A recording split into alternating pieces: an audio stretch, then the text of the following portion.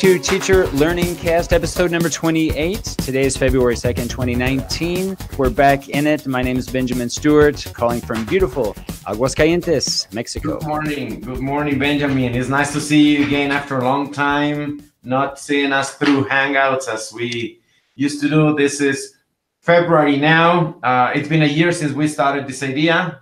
Uh, it's almost a year, but we're in episode 28 and uh, we thank everybody that has been asking if we were coming back and um, and, and asking when are we when, when were we coming back to do the transmissions but here we are now to talk about education and a little bit about language learning absolutely it's been about six weeks since uh, i think since the last time we had a broadcast and so right. it is great to be back and uh, we've been talking a lot Petey, about the new courses as we often do starting a new semester um, I think uh, courses, the extension courses at the university, the Universidad Autónoma de Aguascalientes, they're starting up, I think, next week.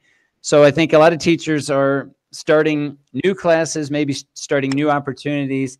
And uh, this, I think, would be a good time for us to share some of our thoughts about uh, what courses we're teaching this semester and some approaches and workflows that we're thinking about. So that's that's on the agenda for today. But before we start, I'd like to invite everyone, if you want to participate in today's conversation, to join us in Facebook. We have a Facebook page, Teacher Learning Cast. Join us, leave some comments, let us know what you think. Uh, a lot of you join uh, in on the conversations during the broadcast, which is great. I know Petey is fielding some of those questions. So shoot your questions out. Uh, let us know, give us some feedback about uh, any of the topics that we talk about. And uh, we always want to bring in uh, outside perspectives into the conversation. This is not just about Pete and I uh, talking about what what uh, is, is of interest for us, but it's really trying to start the conversation, start a more broader conversation with others, and with the hopes that that others are brought in as well if you ever want to be part of the live broadcast, that's uh, great. We're always looking for uh, people to uh, either interview or just casually be part of the conversation. Uh, that's also great. If you just want to pop in and out, that's wonderful. Just let us know. We'll be happy to provide you that link before any of our broadcasts, which typically occur every Saturday morning. And and also Ben invite inviting people if uh, just for the sake of listening and trying to practice a little bit your English uh, it's also something that we would like you to do. Nos gustaría que practicaras tu inglés. so you can join us just to listen to us a little bit. And I think we have a nice combination with this talk in the sense that uh, Ben, as a native speaker, me, me as a native speaker, and me as a Mexican speaker, uh, a speaker of English, of course. And um, and I think it's a nice combination in which you can uh, detect different uh, things and aspects of the language just for the sake of practicing. So join us. And uh, and yes, indeed, uh, we already started classes this week, and many teachers are starting classes this coming week. And um, oh, I think um, I've always known since I was studying uh, my my BA studies here at the Universidad Autónoma de Aguascalientes. I've always known that uh, it's really important to share with people and I've always uh, liked the idea of having people from the outside sharing with you in the classroom. But uh, it's until this past months that I've been really into it as a natural way, receiving people in the classroom, talking to people about what's happening in the classroom, and it's always um, helpful to listen to what other people have to say about what we say. What I mean is rephrase, paraphrase what, what we are saying, or ask questions or whatever is necessary just to raise awareness. Absolutely. We, we view everyone having a voice, and regardless of your your background, your English level, uh, your English proficiency, uh, it's really just communicating and opening up the, the, conversation. And so this is really a, a space that we enjoy uh, creating, not only for ourselves, but hopefully for others. And uh, we've had many occasions where we've had uh, conversations with our students who have been brought into the experience. and um, it's it's all good. So we want to extend the the invitation. It's an open invitation. If you're if you're doing some great things in your schools and and uh, projects, things that you want to share or even promote, uh, this is I think a good place uh, to do that. Feel free to uh, to do that.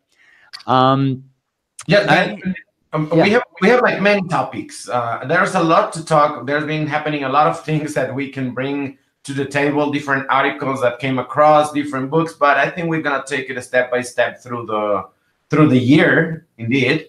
And uh, and let's start with the basics. We want to share. We would like to hear from you what you're doing, what you're gonna do in your classroom. But uh, to begin with, if you allow us, we want to share a little bit what we are going to do in our classrooms. Ben. Yeah, and I think one of the things is in the sharing, and I was thinking about like we always do, we kind of think about the technologies maybe that we're going to use, the workflow that we want to create, the communication, the accessibility that we want to create with our students. And so I think when sharing both of our experiences today, it's really not to say that this is the way to do it. It's more just kind of sharing and, and thinking out loud, if you will, and and and seeing, you know, this is what we're planning on doing. Some of the things that we do perhaps are what we've done in the past. Maybe there's some new things that we're trying, but it's really just to show what our current workflow is. And uh, again, in the hopes that others can provide feedback, maybe suggestions or provide suggestions on ways that we could work more effectively and efficiently. So uh, don't take it as this is the way, end all, be all. Uh, it's really just kind of a, a way to share uh, our experiences. Again, encouraging others to do the same. So, Petey, why don't we start, if you don't mind, uh, sharing what class that you're you're considering this uh, semester, maybe uh, the the workflow that you're looking into for uh, to get started this week.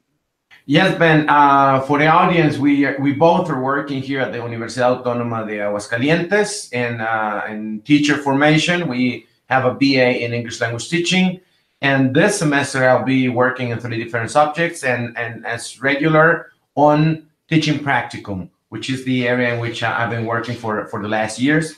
And uh, this semester, I'll, I'll be leading uh, the class along all the teachers because we, we divide the group for certain uh, tasks.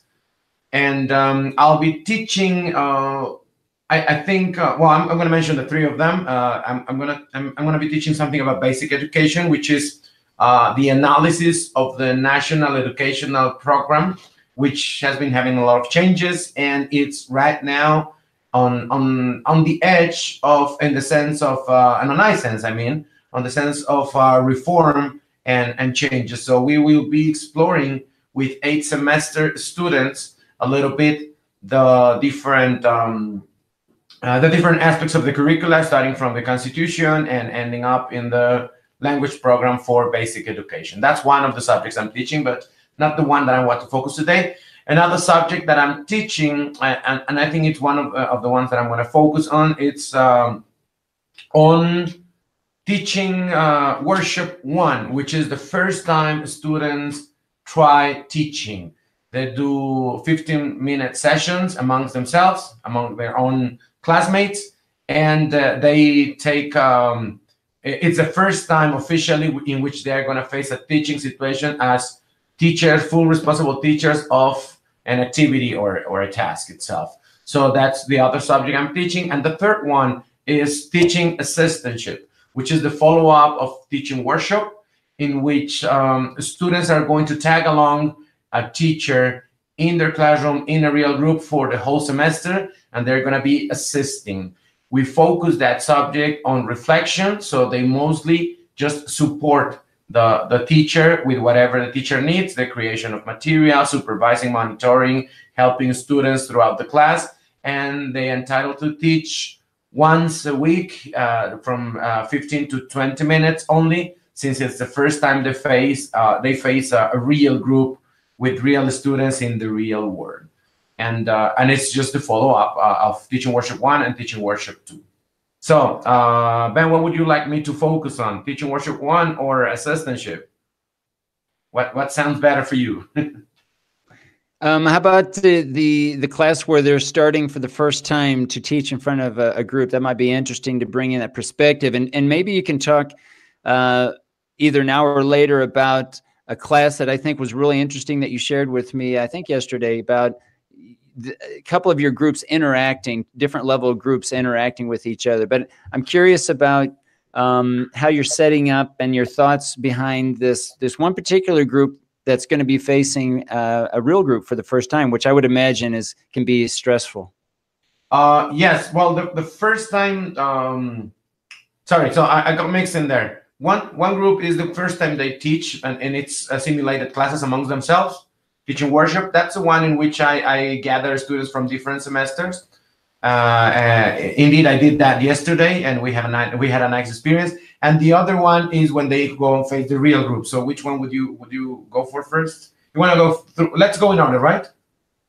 Yeah, it, that's fine if you want. Yeah, we can go in order. Yeah, the first one it's uh, so teaching workshop. This is uh, students with which are in second semester of the BA. That's one of our the characteristics of the BA here at the Autónoma de Aguascalientes that we do have practical subjects since the very beginning. So they come from first semester in which they did classroom observation only with the purpose of analyzing critical incidents, classroom happenings. And now uh, they are start, they are going to start teaching for the first time. Indeed, I I think uh, Kevin was around here watching right now in Facebook Live. Greetings, Kevin. He's one of the members of this uh, uh of this uh, teachers, which are information. and the idea here is that they prepare tasks, activities for 15 minutes only. And they teach whatever they prepare to their classmates. And so we simulate a class somehow because they already know the language, but uh, uh, we focus on basics. But I'm talking about really the basics, like standing position, like uh, eye contact, like um, walking around the classroom, gestures, body language, the use of the voice. And then we go through other things like uh, questioning in the classroom, eliciting, and, uh, and, and, very, very basic things uh, about their performance. So what they do is they plan a class, they deliver the lesson plan ahead. Uh, we have a, uh, an individual discussion with the students that require it, which at this point is most of them, or I, I could say all of them, require a discussion about their lesson plan and their idea. Uh, uh, I focus these discussions in this moment mostly on the objectives and the expected language of, of uh, the, the target audience for, for this class. Uh, and then they actually teach. Uh, during the teaching, they are observed by peers, by me. Uh, we record videos so they can watch themselves later. And then at the end, we have a feedback session for the teachers that taught uh, during that day in order to have some feedback about uh, the aspects that were effective and the aspects that were non non-effective or semi-effective during the class. I don't know if so far you have a question about it. Yeah, yeah, Petey. I'm curious about you mentioned that you work. One of the things you do in planning with your student teachers before they are uh, before they begin the class is the expected language uh, or the intended language for for the group. I don't know if you could speak a little bit more about that or clarify and and what that looks like from your perspective as the tutor. What kind of conversation you right? Uh, yeah, I, the class. I couldn't listen to the last thing you said, but um, I'm, I'm understanding that you want me to talk about the discussion about the language inspector, right, and the planning. Right. Right. Correct. I, I there's always the need to start somewhere, uh, and um, and in this subject, sometimes it's difficult just to start from the air and ask them plan a class and do it, uh, which uh, which is a challenge, right? And and majorly since they are not experienced teachers, uh, they may have a hard time on this. So I start from the idea of determining the topic for the class and the language that is expected. So I talked about four main aspects. Um, there's an article that I use a lot, which talks about the four levels of language in the classroom, and and it's and, and this is talking about the form, the function, the context, and the topic. That's the way the article comes. I think we discussed this like a year ago or half a year ago here in in uh, Teacher Learning Cast. Uh, and that's the way the article handles. I changed a little bit the last two levels because I integrate what they call in this article the topic and the context into one, just as context. And uh, but the fourth level that I use, or the fourth aspect mainly that I use uh, for planning, that's why I consider it uh, uh aspects of of uh, of the topic for the class. It's the form, which is which I call it the language topic, the the function of the language. Uh, I mean the function of this form that they are going to use. The third one would be the context in which I focus them on the real life situation in which students may use this linguistic feature and uh, preferably that they intend to bring into the classroom as, as a simulation in, in their language classroom. And the fourth aspect, uh, instead of asking them for a general topic, which I consider is already handled in the context itself, I ask them for something that I call the specific language example. I ask them to uh, clearly state what they expect their students to say if it is speaking, to write if it is writing, to understand from a, a reading or a listening. Uh, majorly, this specific language example focuses on a practical example. In other words, like let's say if the topic for the day is something related to grammar in simple present, in a certain context, the specific language example would be a sentence already written. So I don't ask them to describe what they're going to say. They I ask them to actually write an example. So the example would be like, I go to the movies every day. That would be like uh, uh, like one case of this specific language example.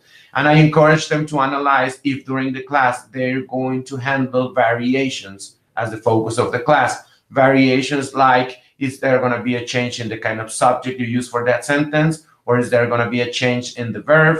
Is there going to be a change in the, I, don't know, in the in the delivery form, like a question, affirmation, uh, negative statement, or, or, or whatever they consider? Uh, making clear for them that the idea is for them to know what they expect from the classroom though students actual language learner students may bring different kind of sentences and features and add things and and and modify different aspects uh, it's okay in the classroom as long as the teacher knows for sure what what he or she's expecting them to to take as a base form right? This is pretty much what we work. Yeah i'm thinking about uh, one of the earlier episodes. I think it might have even been the second or third episode where we talked about the SIOP model, the Sheltered Instruction Operational Protocol model. Uh, we talked a little bit about CLIL. I'm thinking about how teachers input that they say, how can they make it more understandable for English language learners? And, you know, some of these uh, protocols discuss how we as teachers can use like repetition. We can slow down the pace of our voice. Um, we can even go get into talking about recasts, right? So when we hear uh, maybe make mistakes, how do we recast those? So we can use positive evidence, negative evidence, where we can, you know, either correct them and make it explicit that maybe they made a mistake, or we can simply model the correct uh, form of the language in real time as as you know as the, your as we're having a discussion with with the students. I'm wondering, and maybe this particular course, because this is a second semester course, right, Petey, that you're yes. describing. But I'm I know you're responsible for for the the practicum strand, so you you have some experience with other levels as well. I'm curious at what class or at what point do we start talking to uh, teacher trainers about this the recast about how we can make maybe alterate altering alternating and and and modifying our speech in a way that the you know the language is more comprehensible for learners? At what point does that happen? And you know how do students react to that? How conscious are that are they? And how does that be part of the reflective process when they're working with their tutors throughout the BA? let me let me just rephrase a little bit because there was a part in which I, I couldn't hear you well because it was kind of choppy. So you're talking about the idea of the language that the teacher uses in the classroom for instruction, right? Yeah, I'm curious about you know when we're we're talking, especially if we're teaching, let's say, a, a level one class, okay. we're going as English teachers, we're going to be speaking differently, right? Than if we were going to teach a four, a level four uh, class. And I'm just talking about in terms of the speech, the the pace in which we speak, how the use of repetition, maybe uh, the use of more hand gestures and facial expressions when maybe the language becomes a barrier, even the use of recasts. I'm, I'm curious about right. your conversations with teacher trainers in terms of their use of not necessarily what they say, but how they right. say it and how conscious they are of that and how that is kind of intertwined into the reflective process with their with their tutors uh, throughout the BA. Well, this is exactly the semester in which we focus on them to develop this kind of skill. It's they have experience on it uh, from first semester in which they did classroom observation, and we do have specific observation topics in which they focus. They go to a classroom, a real classroom, and they focus only precisely on this, on the use of the voice in the classroom. Uh, but we do it in a very general way. That we ask them just to um, describe uh, a couple of features that we mentioned. We just see. Uh, I think uh, we see volume, pitch, and projection only, uh, if I recall well.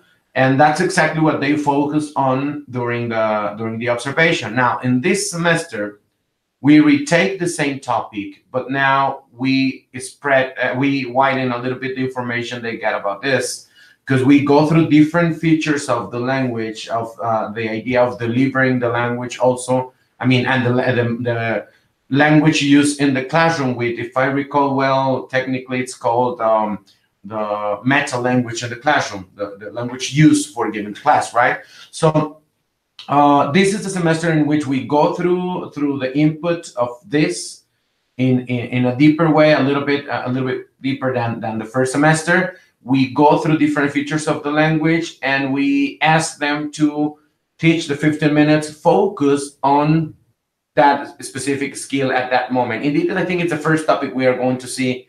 Uh, right now, we are going to start with general teaching. I mean, we're going to ask them to teach whatever they want, the way they want it, no input about it, so they can start sensing how the dynamic is going to be. And after the first round, we're going to have the first input, which indeed is that.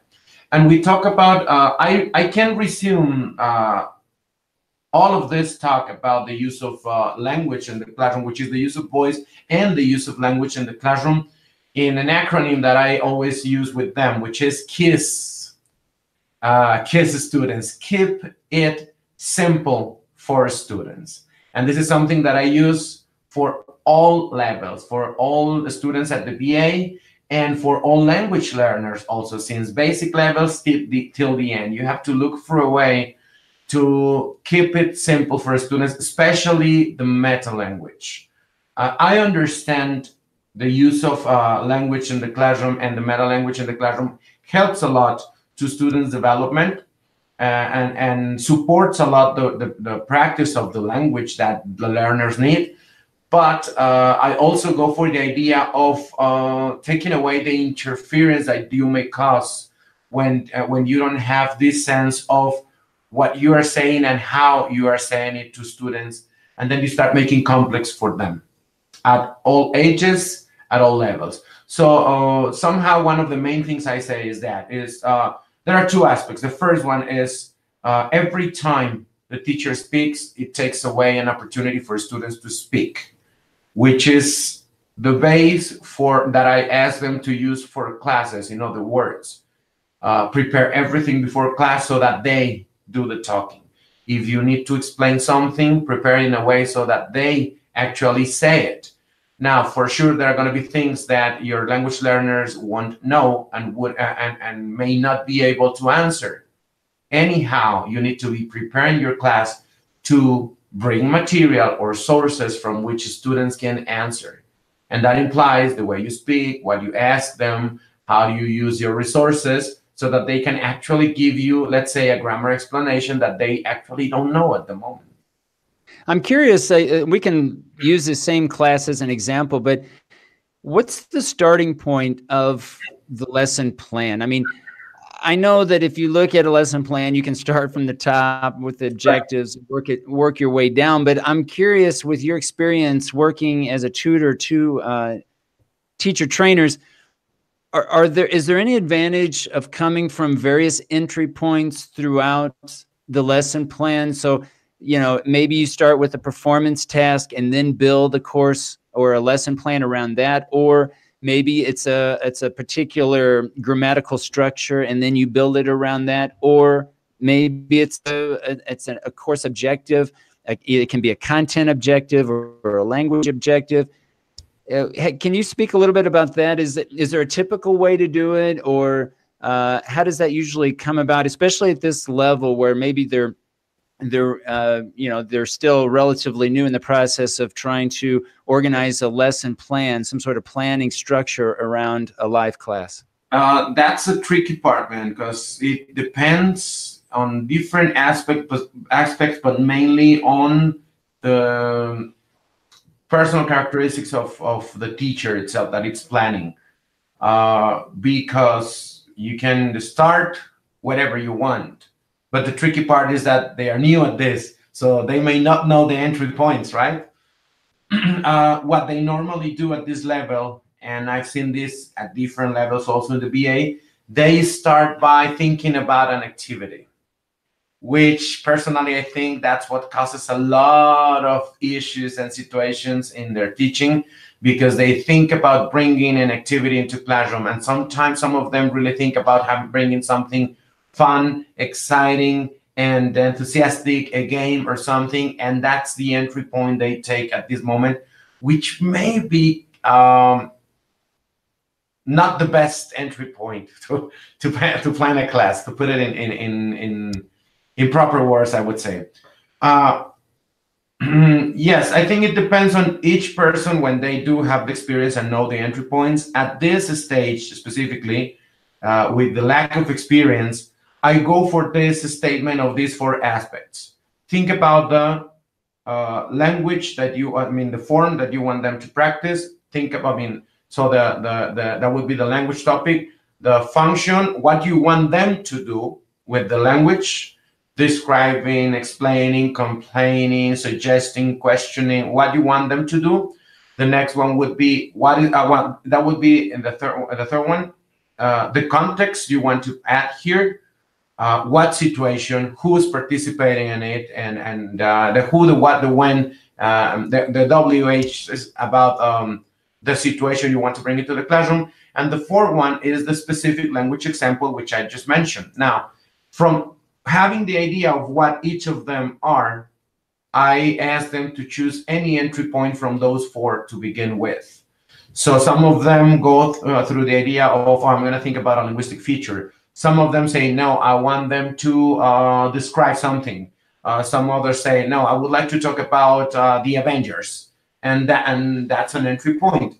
And through the course, they start uh, uh, going through um, uh, through the going through the lesson plan, but starting from different points, aspects. And by the end of the semester, I expect them to be comfortable with the one they feel better.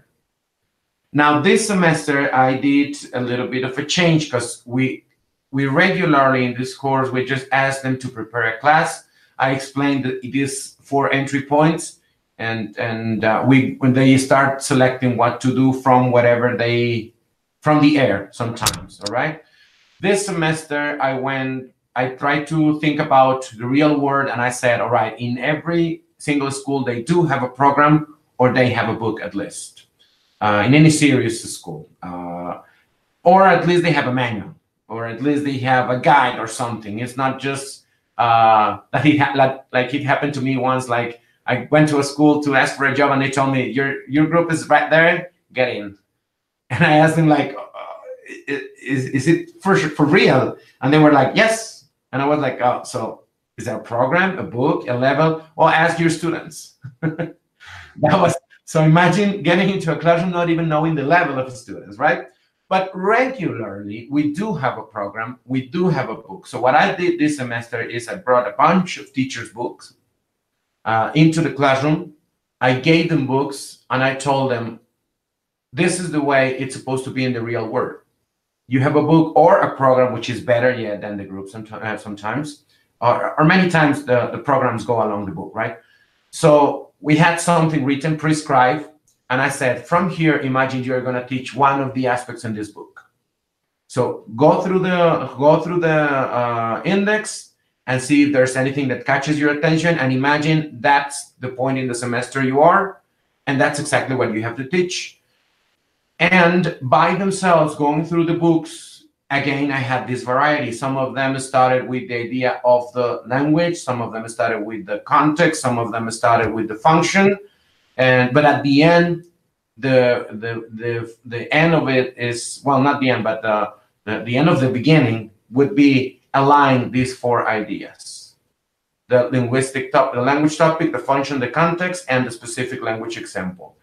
And from there whatever they think of, of later as long as they keep in mind what's the objective what's the outcome, the expected outcome. It's like thinking a little bit about the evaluation, right? At the end, thinking about what what are they going to say and how it has to be said by the end of the class, uh, or what am I intending them to do? And then uh, having this as a solid base, they start to have a lot of ideas about activities and about what to do.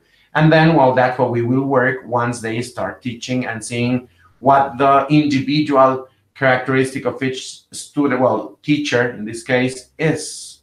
Uh, I start to to see their um, their mood, their tone, their character, their personality, in the sense that uh, they keep their personality along the class and they polish whatever they need to polish in order to have a successful class. Yeah, you mentioned the textbook, and I, I'm curious. I was thinking about at what point does the textbook become um, what helpful, and at what point can a textbook become actually a hindrance or a challenge when we maybe might start to rely a little bit more on the textbook and less on the, the lesson planning? What kind of conversations do you have with your your teacher trainers to in, in terms of course books and how a course book is used within the context of lesson planning?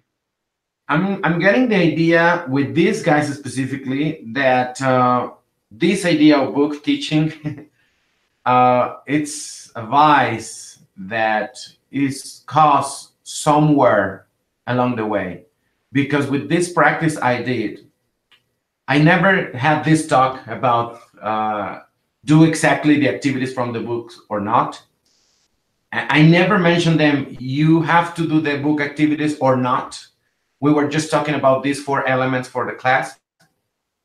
None of the students copied an activity from the book. None of them.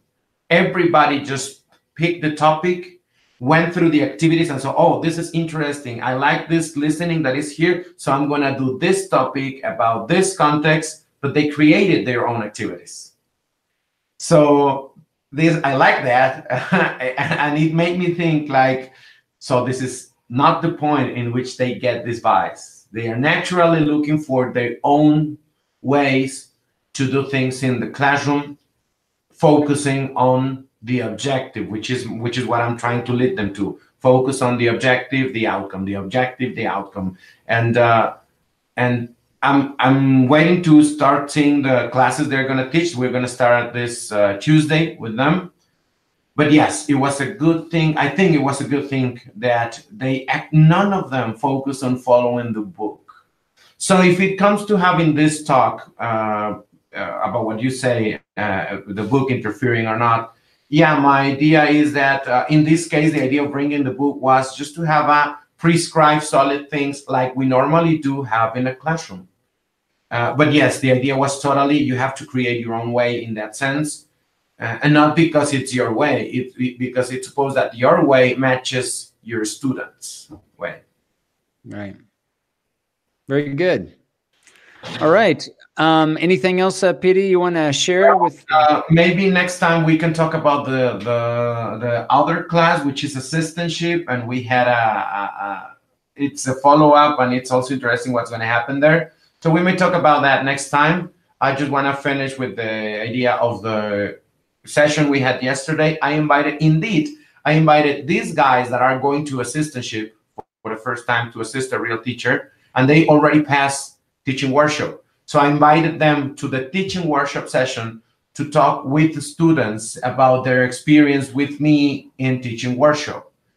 And we spent uh, like uh, 40 minutes, like half an hour, 40 minutes in groups. I had four groups, and I have four students from the upper semester uh, working with the teaching workshop uh, guys, just talking about whatever they wanted in, relate, in relation to, to the course. And uh, I heard a lot of interesting things. I think this can be another huge talk to talk about that session. I heard a lot of interesting things. And I got comments, immediate comments from students in which they were really glad that we had that session because they they I, it seems to me not sure because I haven't talked that deep with them. Uh, this was just yesterday. We're gonna have a session next Tuesday. Uh, it seems to me that for some of them, they have a totally different scenario about the course after talking to these guys from the upper semester. So, bottom up, I just bring it up because uh, I think it was a great practice and, what I told them at the end is that that's the idea of teaching, bringing uh, a more experienced person to help you through your way. Uh, the teacher in the classroom is no other uh, uh no other thing than a, a, a, a, more experienced user of the language that is helping you a little bit. So it was the same thing that happened here. We had people with a little bit more, one semester, two semesters with more experience than than these guys. And it was amazing what happened there. So we can discuss about that next week because I would like to hear what you got to say about your semester, Ben. No, and uh, yeah, and I definitely look forward to hearing that. When you told me talked when we talked about it on, I guess yesterday, uh, it, I thought definitely this needs to be something that we need to share because I think anytime that we can take advantage of our learners interacting with other level uh, learners. I think that's always a good thing. It's not always possible, obviously, because they have each has their has their their schedules, but definitely look forward to hearing that. Um, I want to talk a little bit about what I'm thinking about for this semester, and I'm going to go share my screen. Petey, feel free to jump in at any time. I'm going to kind of ramble on, so just just uh, jump in anytime uh, you wish. So okay. just let me know if you can see my screen. I have a screenshot here of thesis seminar.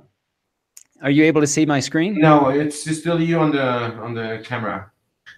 All right. So let me try this again here. Yeah, no. having some, there's some technical difficulties here. Let me. Uh, I'm going to refresh, uh, Petey, so I may jump out just for one okay. second.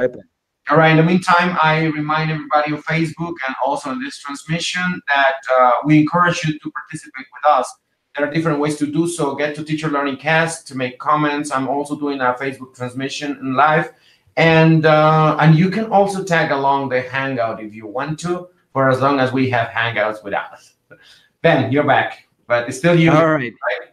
Yeah, it looks like I'm, I'm not able to share my screen. So um, I'll just talk about what I'm planning on doing. Uh, this semester, uh, I'm teaching a thesis seminar course, which is a research course. It's kind of a capstone uh, research project that uh, students in our BA program are uh, asked to do. So they actually conduct research based on some topic related to applied linguistics, right? So it can be related to any of the four skills, could be related to grammar, uh, vocabulary, pronunciation, any uh, anything related to sociolinguistics, psycholinguistics, basically any of the courses in the linguistic strand also that is of interest to them, they are able to conduct their own research. Typically, they will um, focus on a problem. We always ask them in the first week of class to really concentrate a problem they want uh, research, a problem maybe they've experienced as either a teacher or as a, as a learner. But the the the point here is to help guide them through the process of developing a literature review, then conducting a research by developing a method section where they collect data, and then they will share their findings or results through the creation of a results and discussion section. And at the end of the semester, they will participate in an oral defense where they'll give a presentation, typically 20 minutes. They will uh, share their findings, share their study in front of three examiners, which will then lead to a 10 minute question and answer. So they'll be able to actually then provide a defense and explanation uh, and answer any of the questions that they have about their research. So the way that we have set up this course is it's a 16 week course and it's divided into uh, weekly tutoring sessions, a one-on-one tutoring session. So we will, uh, we have tutors, for example, in this semester, we have, I think, 42 or 43 students enrolled. We have, uh, there two tutors and uh, we, so we'll have approximately 20 to 21, maybe 22 uh, students who we will schedule 30 minute sessions each week, one on one, to help them through the process. So this semester, I've taught this course uh, many times, and um, this particular semester, I'm going to use Google Classroom. And what I like to do is I, I like to provide different uh, ways that students can interact with the content so that if, uh, since we don't have a lot of time face to face, that they have a source that they could go to to see and you know try to have access to the different topics that uh, that are involved in throughout the course. So unfortunately, I can't show you this, um, but is, is it a is it a screenshot? You can, if you want to send it through Facebook inbox, I can uh, share my screen in there. Uh, oh, okay. All right. Let me let me do that. Let me. Uh, all right, can I just sh share you the link then? Yeah. Okay. Right, right. Okay, I just uh, uploaded the link there, Pete. If you want to share your screen, that might that's a good idea. We can try that. Okay. Oh, I don't have access. It says like class not found in the link. Oh, oh, here, let me give you access. Uh, and that is a, a something to uh, consider that the Google Classroom is a closed class, and that's something I wanted to talk about. I'm going to type in the the code here real quick. Uh, lost it here. If you have a way to do a screenshot, maybe we can share that if you send it.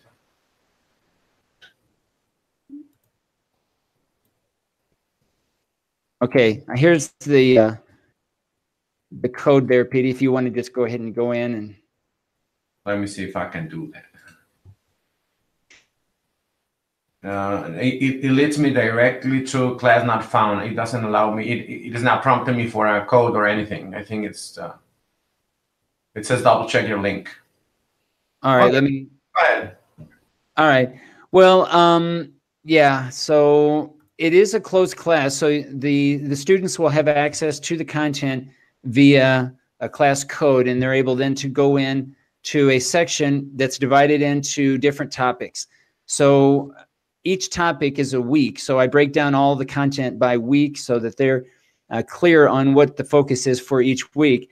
I try to set separate uh, objectives for each week to kind of break it down uh, the process as much as possible. And uh, students are also asked to complete a weekly journal. So they are able to, it's, it's a relatively short text, but it allows me to find out what challenges they're facing for that particular week and also uh, what they need from me as their tutor. So things that they would like to discuss their next tutoring session, they can include that in their weekly journal and allows me then to uh, better prepare for our conversation and really try to get the most out of our weekly uh, tutoring sessions. I think it's really important. I try to stress uh, the importance of having students bring in their questions and, and try to make uh, some some uh, some progress each week so that the, we have things to that we can work out uh, during our face-to-face sessions. Right. So the weekly journal allows for that to happen. It, it gets them into this uh, cycle of reflection and you know communicating to me basically what how they're they're coming along i found that this class more than probably any other class because we just don't have the face-to-face time uh, it's really important to have this communication and this accessibility uh, between the teacher and student because uh, otherwise when communication breaks down that's usually where th things go south and, and students then right. start to get behind. And in this particular class you get behind it's really difficult to to to catch up just because there's just a lot lot to it. There's a lot uh, throughout the process so there's really no room for taking a week off really and without really having to work hard to catch up uh, the next the next week. So and i do have a question there? Uh, and, and i think it's uh, kind of uh, the basics for for certain aspects. How much uh, do you in your experience in this subject in the years you've been teaching it uh, do you think, or, or how much is the awareness students have about the importance of the research? I mean, they they do it. I have experience. They coming to me and asking things, and they know it's they have to do a lot of things, and and it's important for them to do them because it's part of the subject. But my point is, how much of um, how, how they see the relevance of having a, of having some results about the research they carry out? Yeah, there's two things I two ways I would like to answer that question. And the first is to talk about a course, an earlier course that all students have to take called Applied Linguistics. And this is a sixth semester class. Uh, so like a year ago, they they took uh, an applied linguistics course, which part of that course requires them to do an action research project. And so this is their first taste, really, if you will, of doing research. It's it's uh, it's light. It's a small research project, but it's really focused on their own practice. So in research, they will find a group that they are teaching, whether it's within their practicum strand uh, or practicum group that they have, or it could be in some cases some students are teaching already. It could be a course that they're taking, but the key to their action research project is that they are focusing and collecting data and analyzing data on their own practice with their own students, their own groups, their own context. Obviously, focusing on a problem that relates to them. So, again, they have had this course, they've had this experience, and and this kind of leads into their uh, their project now eighth semester project for thesis seminar it's important to mention in seventh semester, students take an academic writing course where they have to complete a literature review. So what we try to do in the BA is try to link their action research project that they do in applied linguistics in sixth semester. In seventh semester, take that same problem or topic and build a, some theoretical framework by writing a literature review. And then in eighth semester, then continue that same idea and build a more uh, broad research project that that they now focus on when they want to research other teachers. That's the main distinction between thesis seminar in eighth semester and applied linguistics. Okay. The uh, the applied research in uh, sixth semesters. Now in eighth semester, they need to focus on someone else. So they've had that experience of doing research on their own practice, and now they're going to be having some experiences researching other people. But there's a common thread between both experiences and that is it needs to be a problem that they can relate to that they can that they faced again either as a teacher or as a as a student we spend the first week and a lot of times in reality more than that several weeks really um, helping students be able to articulate a very clear and concise problem that they can that they can relate to because I think that really is at the heart of any research. This is the significance. Right. This is why they're doing it in the in the first place. I always give the example with my students when they're presenting their presentation at the end. You know, we've had cases where some students are they do well presenting. The the PowerPoint's wonderful. They speak very well. They deliver it uh, in a really good way. But at the end of it, some of the examiners might ask, "Ek, What's the point? What is the purpose of this? You know, eh, what where do you want what do you want to do with this?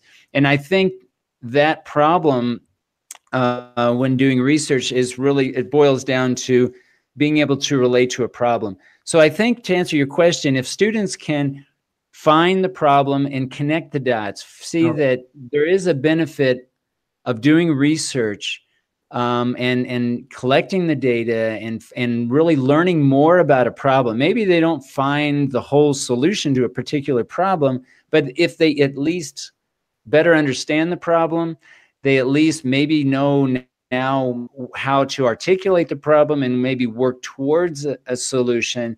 I think that they're more likely to see the relevance of you know of doing research and and not have research be so separate and disconnected from the reality because that's the old argument right? Is oh the research is one thing and teaching practice is something else right? And there's no room for you know research and it, mm. you know the researchers are out of touch and and etc and i think this is one step in in addressing that issue which i'm not saying that it's not an issue. It, it can it can be. But with our teachers we really want them to see the benefit of being able to uh, to conduct research, and we look at it as actually, you know, uh, an opportunity for them to generate and celebrate really what they've learned throughout the BA, and and and be able to formalize what they have uh, learned or the highlights of what they've learned into something that's hopefully relevant and meaningful for them. So this course is really um, designed to really facilitate that process and help them make decisions that evolve around their own personal interest not so much us saying okay you need to research this and this and this but to give them a lot of choice and then help them uh, facilitate making the best choices for their project. Right. Do they get to to make some interventions or or, or tryouts about something that they want to try in classroom or is this mainly focused on collecting and analyzing data? It's mainly focused on our students uh, researching other teachers. Now, you mentioned intervention, yeah. and depending on the situation, right? If teachers are are are going are doing what the what our students, our researchers are needing, and then they don't have to do an intervention. But sometimes it's necessary if teachers, if if it's uh, depending on what they're researching, Okay. They may have intervention where they're working with the teacher and and and asking them and helping them. In some cases, uh, maybe do a, a, new teaching practice or use a, a, material or a technology that maybe they haven't used before. Um, then there's an intervention, but there's really not uh, an intervention, and it's not really part of the co- course objectives to necessarily uh, have them do this in their own class. Of course, they can on their own, and they're encouraged to you know try new things and maybe the knowledge that they gain from this research they can use in their own classroom but it's not it's not part of the the research and it's not part of the class um, objectives. So I understand if, if some of them get to do some sort of intervention, it's for the sake of uh, polishing the gather information. Correct, because let's say that a student wants to um, research WhatsApp, and uh, he or she wants to see how teachers facilitate communicative uh, competencies using WhatsApp in the classroom. Well, let's let's say that maybe the the student now, the researcher is looking for teachers who are using WhatsApp in this in this fashion, and let's say that he or she is not able to find a teacher well right. then then we might ask them to do an intervention and it's it's it's a very you know very systematic way of going about doing an intervention but it is an option where students our researchers can then go in and and work with their participants their teachers and help them maybe either teach them or show them how or suggest to them how they could use whatsapp and then you know maybe the teacher would be using whatsapp for the first time so that our student researchers then could conduct their research. So that's what I mean by if you know teachers aren't already doing it, there there's always an, a, a, possibility of doing uh, an intervention. But again, it just depends on the the the type of research that they're doing. uh, what do you think is the point at which they find? Uh, I mean, I know the the hard part the hard part most of the time is the beginning, right? Uh, to select a topic and to polish the topic, but but once you pass that, okay, because I know it's a hard time always. Is there another point along the the process in which they get stuck regularly, are frustrated or anxious because something is not uh, coming to an end, or I don't know. I mean, I understand the beginning is always it's always the hard part, right? Is it in this case? I mean, yeah, it's uh, that's a good question, and there there are many answers. It really just depends. Like I can give you examples of every part of the process where some students might have problems for different reasons, but you know i think the literature review generally speaking is one of the, the biggest challenges in fact that's why we have a dedicated course uh, semester dedicated just to developing a lit review with the idea that they can use, if not, you know, the exact same literature review, they can use the, the, the bulk of that same literature review in their research project in eighth semester. Mm-hmm. Um, but it's, it's just a, it's all, it's for, it's a challenge to be able to organize you know thoughts around a literature you know being able to do uh, research read up on articles and analyze and synthesize information and organize it in such a way that's really aligned with a research set of research questions. You know it's one thing to write a theoretical piece and not have to think about the actual research but they're asked to create a the- theoretical base and align it with research. And, and so that's a, a, an additional challenge that many students face. So that's why we have a whole course, half of the course in academic writing is designed for building a uh, literature review. And then we also have four weeks dedicated in this course in eighth semester and thesis seminar, where they also can uh, finalize their lit- literature review and align it, thinking in terms of research questions and uh, making sure at the end of the day that when they conduct their research that they have a good theoretical base the last thing we want our students to, to have is a, a theory that's talks about one thing and they research something else yeah. so we, we talk a lot about you know having research questions and, and thinking in terms of our theory in terms of those research questions so that they they have they have that proper guidance to create uh, alignment between the research and the theory. How about you as a tutor? I mean, uh, I know you're a, well organized person. Advantage from technology, and um, and you have your way of working with the students, in which uh, I can tell uh, there's always a line to follow or different lines to follow, but you can handle them very well. But but still, is there a moment in which you as a tutor get like maybe anxious or frustrated or kind of stuck or maybe that uh, a point in which it's not that hard feeling but still it's a moment in which you are kind of lo- not lost but how, how, to put it in like um uh challenging maybe? Yeah exactly. A moment in which you say this is something that i need to find the way around and I still don't get it? Or is there a moment along the semester in which this happens regularly or?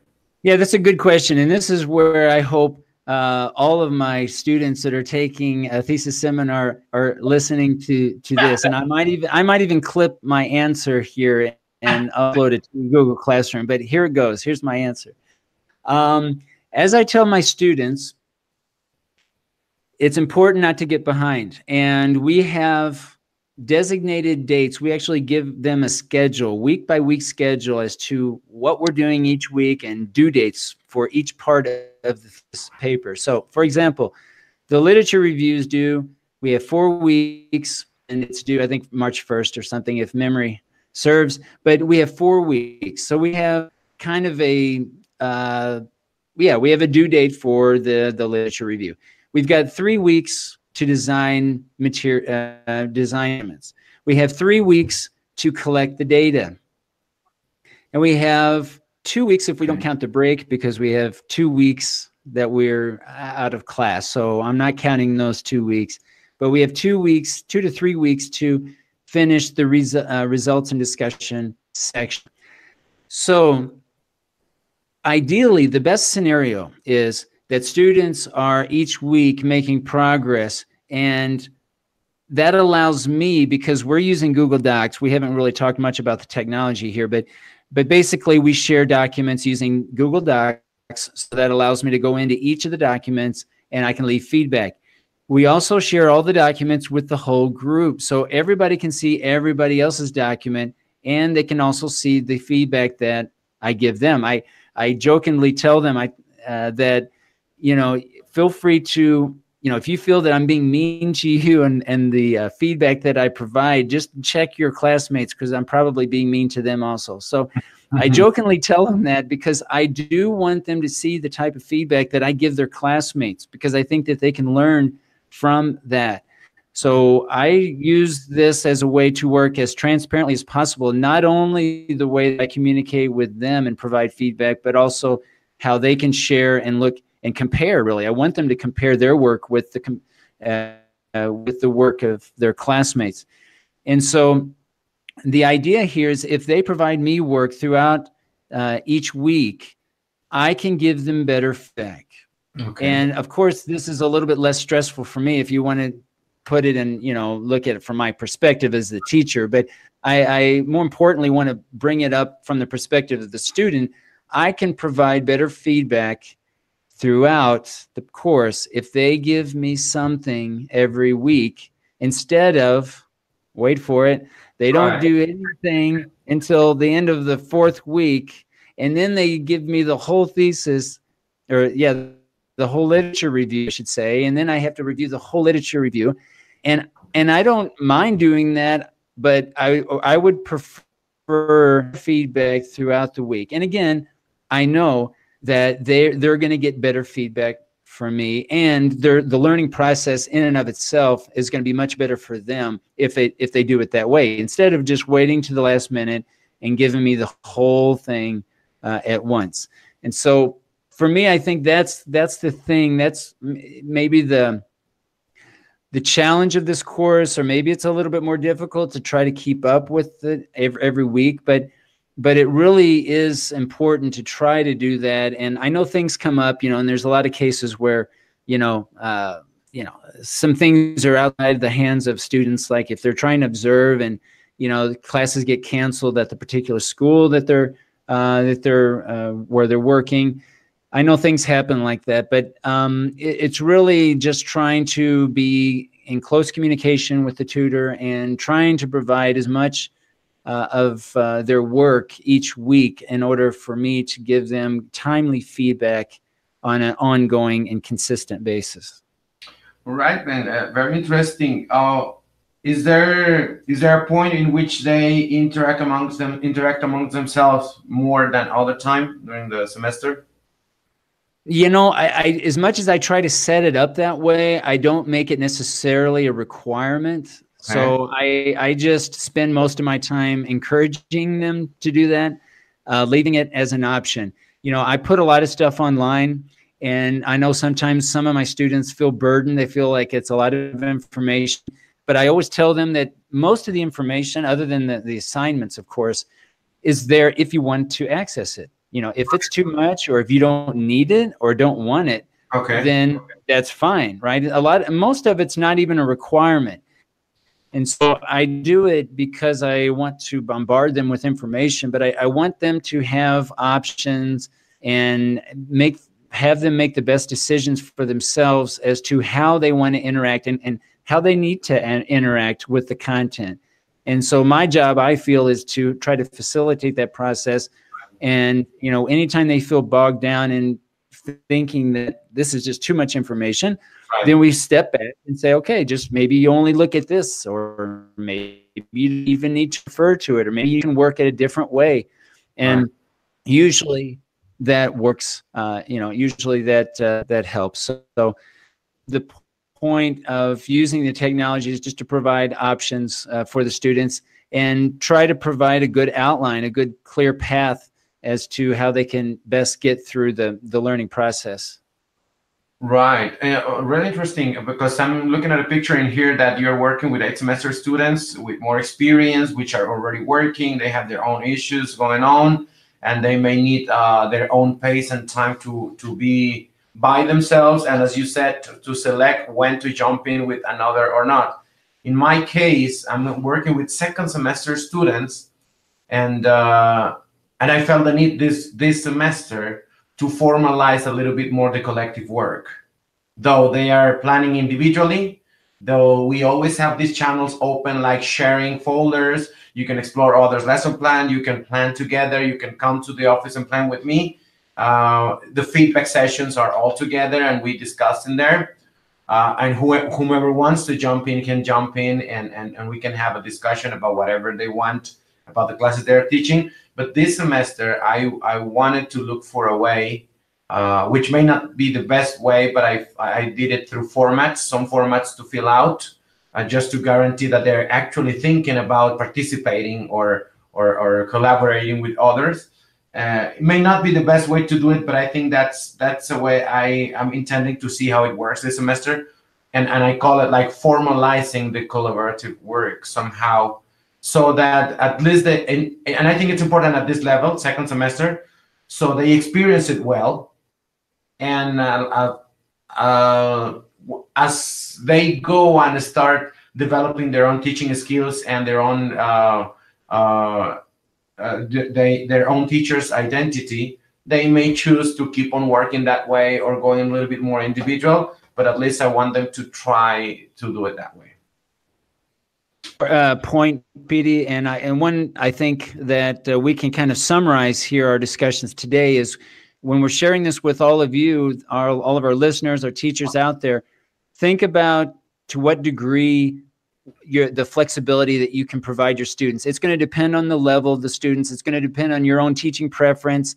and the profiles of the students, even perhaps the school system and the curriculum that you're uh, that you may have to follow. But try to think about to what degree, what types of decisions can students make on their own, and at what point uh, will they need some guidance and maybe even more directives depending on the situation and trying to find that balance trying to find that balance of where students can make decisions on their own and and and where maybe the, the teacher the educator instructor needs to uh, be more uh, directive in uh, in making those decisions.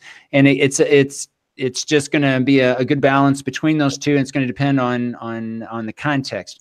But I think that um, hopefully today uh, our sharing of our experiences will encourage you to do the same. We would love to hear from you and and hear what um, what choices you're making with technology or the or the plan on be the, your students, maybe lesson planning, how you're planning on uh, creating those educative experiences for your students. We really would like to hear from you. If you ever want to be part of the broadcast, let us know. Reach out to us on Facebook. Leave us and contact us directly, individually, uh, publicly. Uh, we'll respond and get back to you. And uh, we're happy to invite you on uh, on the broadcast.